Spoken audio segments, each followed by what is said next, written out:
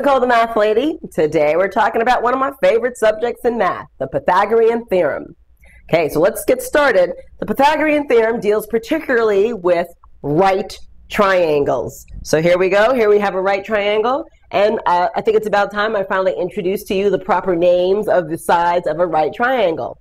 We will call both of these sides that are close to the right angle the leg, and the side that's opposite that right angle is called the hypotenuse, which is the longest side.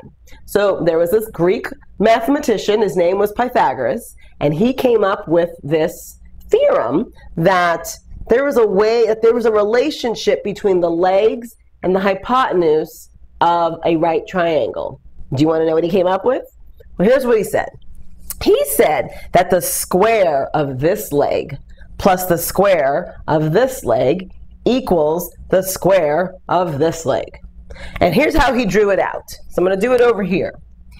So let's say that this side was a 3, this side was a 4, and this side was a 5. So when he says the square of this side, he literally is talking about making a 3 by 3. You know, I'm going to use a different color. I always think about using different colors after I started drawing. Okay, so we're going to make a 3 by 3 square. One, okay, it's, I know, it's a little rough. But there you go. There's my 3. Put it in the inside.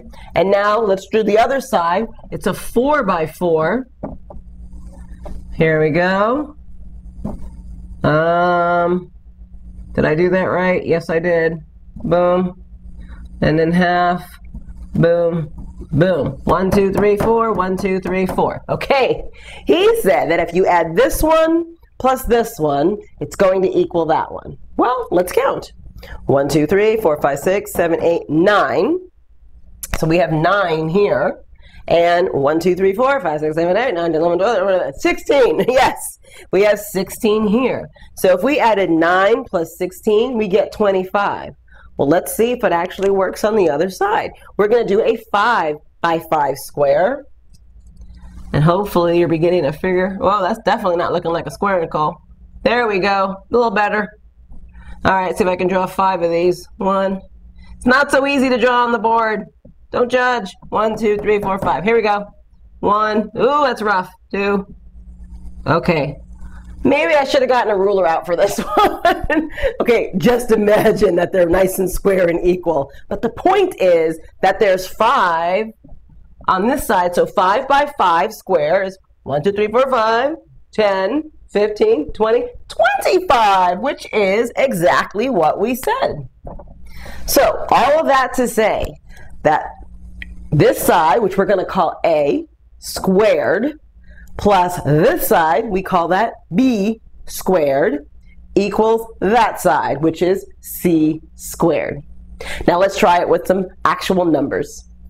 Take a look at this right triangle. And remember, the Pythagorean theorem only applies to right triangles. So we have a leg that's 8 and a leg that is 6. Let's actually label them inches. And we need to find the hypotenuse, the c.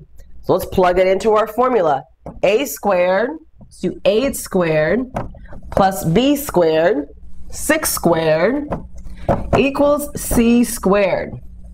Let's do the math. 8 times 8 is 64. 6 plus 6 is 36. And let's add those two together. We get 100 equals c squared. So essentially, c squared means c times c. What times what equals 100? How about 10 times 10? It's the same thing as saying the square root of 100. So the square root of 100 is 10. So our missing side is 10 inches. That's how the Pythagorean theorem can be helpful. And because we can find missing sides, we can do things like find the perimeter. So let's solve for this and find the perimeter. So we have, oh, let's make it a right triangle first. And let's make it centimeters. All right, let's do it. A squared, 5 squared, plus b squared, we don't know b, so we keep it b squared, equals 13 squared. Let's fill in the numbers that we know. 5, 5 times 5 is 25 plus b squared equals 13 times 13 is 169. Now let's solve. Let's get rid of our 25 by subtracting 25 from this side. And we get 144. So b squared equals 144. b equals the square root of 144. Square root of 144 is 12. So let's use that to find the perimeter, which we know is just adding up all of the sides. So we're going to add 5, 12, and 13. Um, that's going to be 30 centimeters is our perimeter. Okay, so you can use the Pythagorean theorem to find that missing side, and then use that to apply it to a word problem, or find the perimeter, or even find the area of something. Definitely take a look at the practice problems. I've got a few of those ready for you. Okay, that's it. It's Nicole the Math Lady. I'll see you next time. Take care. Bye bye.